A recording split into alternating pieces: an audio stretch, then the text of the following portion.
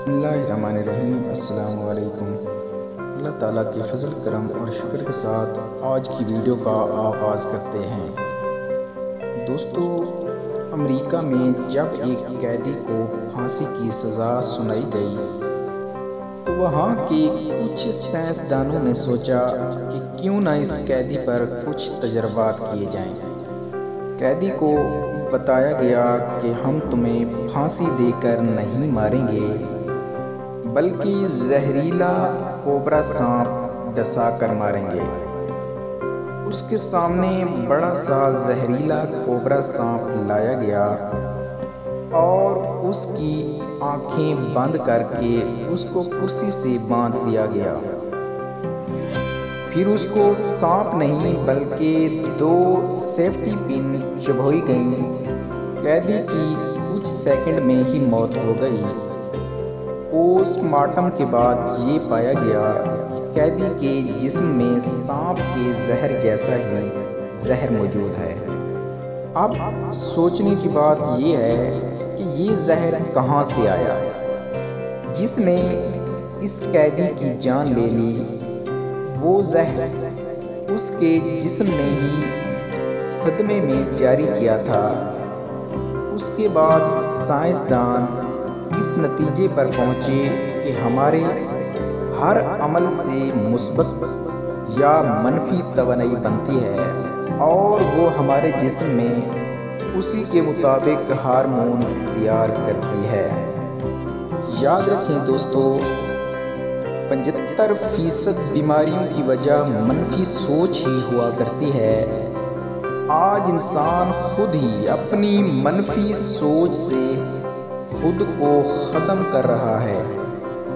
अपनी सोच हमेशा मुस्बत रखें और सदा खुश रहें।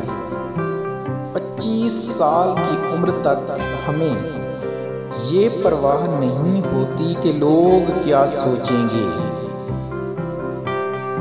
50 साल की उम्र तक उसी डर में जीते हैं कि लोग क्या सोचेंगे। पचास साल के बाद पता चलता है कि कोई हमारे बारे में सोच ही नहीं रहा था।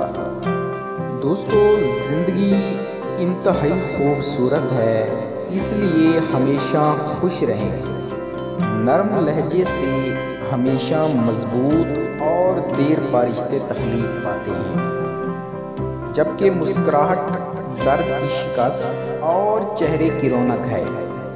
इसलिए खुश रहें और खुशियाँ बांटते रहें।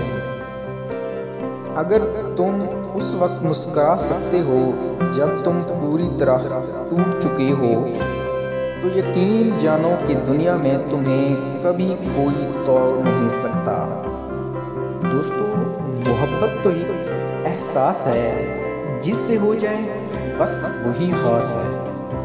दोस्तों, आखिर पे चंद मोटिवेशनल अकवाले ज़रिए सुनाना चाहता हूँ।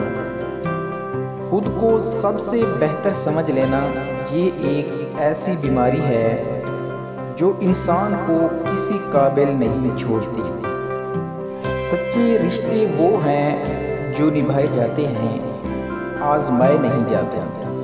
और लोगों को एक दूसरे से जोड़ा जाता है, तोड़ा नहीं जाता। क्या आप जानते हैं इंसान की बर्बादी कब शुरू होती है?